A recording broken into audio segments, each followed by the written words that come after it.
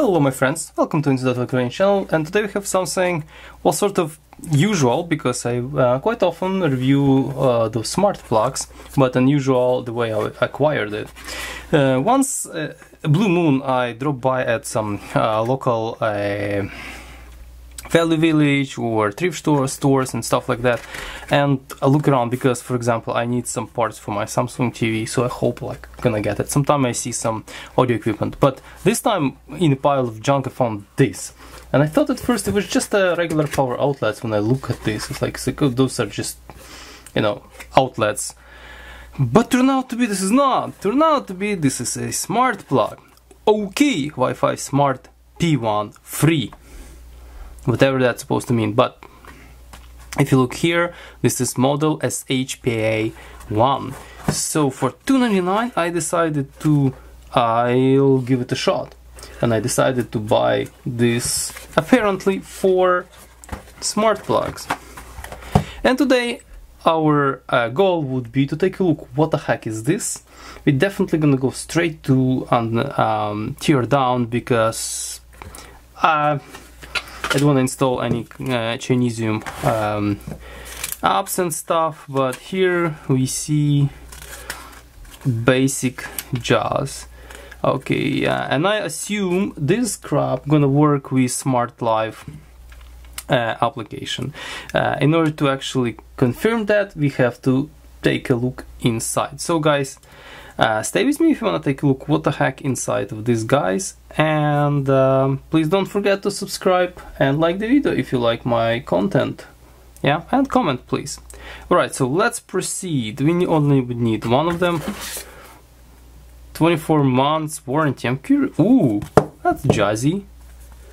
I like this actually. Oh I didn't is it sticker? Yeah I don't know but Wait, it's a Kiowa sword.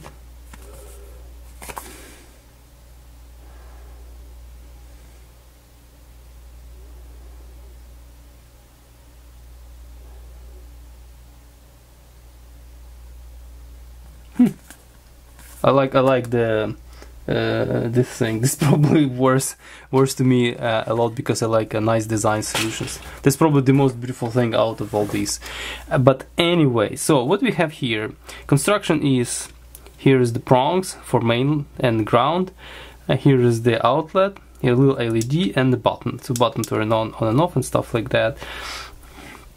It looks like design is pretty straightforward. There is a rectangular body and here is the lid and it's either either ultrasonically welded or just glued. So we're gonna check the theory, what's going on. For that, we're gonna take a knife and just run a few times, like here, not to cut yourself. I think it's already started splitting apart.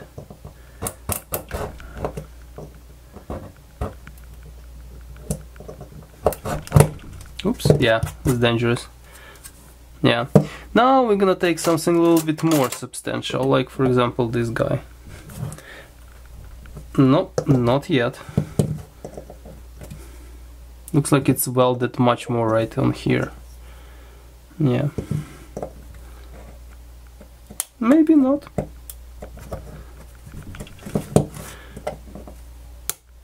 it's cr cr crinkling, so that's, uh, that's a good sign.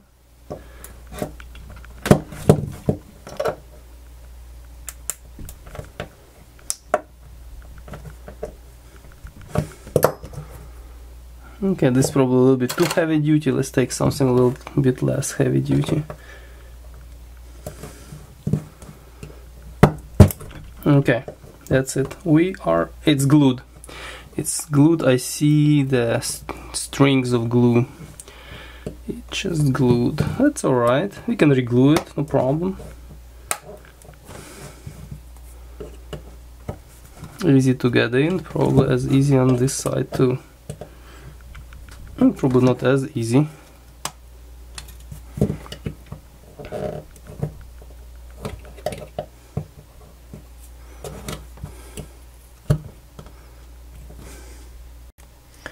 Right, after not much of a persuasion, we just get it popped out, just like so. yeah apparently it was just glued on a perimeter a little notch here indicating the the position how to uh, insert it so we have? Is it can I just remove this or I have to or it's oh there is a little screw here.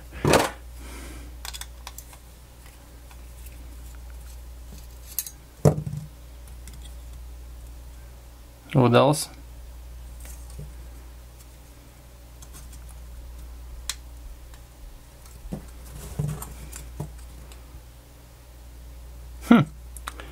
it's not getting go, not going through. I thought you can just push it out like this out of this but it's not cooperating. Whatever. I don't see any more screws right?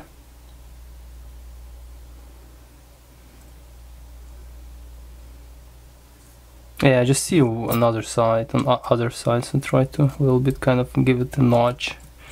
Nudge a little bit nudge nudge it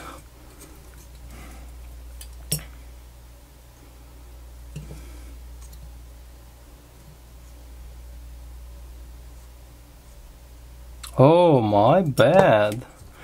Actually, looks like this is a part of this and then it protrudes like these terminals they protrudes right here and they just solder it.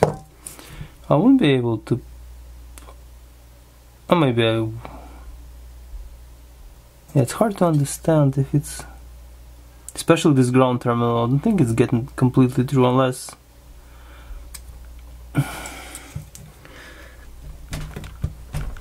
No, no, I can't push that. Anyways, I don't think there is much going on on the other side. I don't think. Yeah, so there's some traces. Alright, so anyways, let's just forget about this. So let's focus on this side. Alright, so after trying for quite a while, um, try to kind of separate these guys, looks like no, it won't be possible because they inserted from this side through this plastic and then solder it to this board. That's it. Unfortunately it's not gonna happen. So either I had to desolder all these three pins to get through. This is kind of interesting solution. Instead of uh, yeah it's like an extra manual step. But the only downside of this particular construction that I, that I won't be able to get to this thing right? I really want to get inside and understand what kind of controller board is this. And the ways they solder it, as you see, it's just facing this little capacitor, 10 microfarad capacitor, and you you can reach it. Yeah, so, huh, bummer. Mm-hmm. Oh yeah, what is this? So, uh, what do we have on the... Um, let's just talk about it. First of all, over here it has says Hyleton 3112 312. It's probably version or revision or name of this thing. So we have a uh, mains input here right so this is sorry this is main input these guys are not necessarily straightforward so uh, uh, live or neutral will be switched by relay maybe even both for safety. Uh, all right so so these terminal right here and these are not connected. So this is input goes to relay for example and it switches this and that and the same for for that one. The grounds obviously just pass through. I'm not even sure if all this just is properly grounded. That's really hard to tell. So we have a MOV for protection. We have a bridge rectifier. We have fusible resistor again it's good.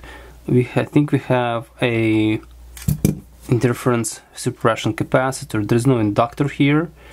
Okay. Then we have what kind of capacitor is this? 10 microfarad 400 volt right here. It's main filtering capacitor. And we have probably this is the driver for yeah this is driver and then we have 50 volt. This is auxiliary power probably for for something. Yeah 50 microfarad uh, 50 volt capacitor 4% microfarad. Then uh, we have um, it's a Zener diode uh, really hard to tell what is this. Especially not having access to the bottom because obviously it's a it's a one-sided load but but some bunch of the trace bunch of the traces are in the bottom. This button they're driven connected to microcontroller driven by microcontroller so this is highly likely 3.3 volt um, regulator. Yeah. Mm -hmm. then we have 470 microfarad 10 volt capacitor. And we have inductor for filtering as well and this is uh, on the output side. And this is a linear regulator so there is no switching here but this is clearly an inductor.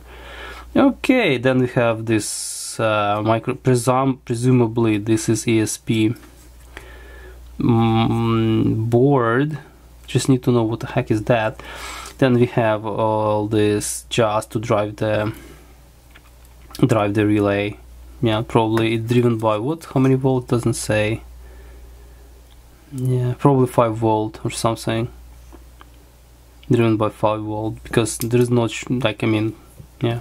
Microcontroller probably need 5 5 volt tolerable or works with 5 volt. I'm, I'm not sure I said 3.3 volt but really it's really hard to tell. Let me see how uh, what kind of the voltage regulator here yeah it says 3.3 volts. It's um, uh, it says AMS 1117 3.3 so yeah 3.3 volt. So I'm not sure what the voltage look at this jaws someone just like melted part of the relay. And look at this. Someone just melted part of the button here. It's ridiculous. Yeah. So um, uh, this microcontroller and Wi-Fi board is highly likely ESP8266 and I why I know this? But I'll show you. Take a look at this. Is but that's not the main uh, question. Question is that we can configure Tasmota to run on this guy. Yeah so essentially this proof this is ESP 8266 and this thing can run Tasmota and that's the only thing what I would like to learn today. Uh, the only problem here that reaching the serial ports in order to reprogram this guy would be probably not easy because some of those pins are very hard um, to reach. So after long investigation I figured out that the pinout here is not really cooperating as well. Uh, so uh, what you have? Uh, essentially uh, here we're gonna have 3.3 volt right? This guy and this guy gonna be uh, area RX but technically on this side we have a ground and TX right there. So yeah it's not not the best not the best here so the positioning unfortunately. So I have to think about how I'm gonna go with that one. Otherwise I would have to un, uh, you know unsolder those. Alright guys, I think the main goal of this video is to prove that this thing is uh, compatible by opening up and checking the microcontroller. Uh, obviously, I could have just looked in the internet because it's already obviously uh, done by someone, but I couldn't find many um, photos or videos what's inside here. So technically it is possible, but looks like this, first of all, this smart plug is not that popular. Secondly, it's actually complicated to reach those serial ports. But uh, I'll think about it a little bit more, maybe I make another video how do I actually program this thing with Tasmota or anything else but original firmware. So guys, I think that's gonna be it. Thank you for watching, see you next time. Please don't forget to subscribe, like and comment under my videos. Stay safe and ciao.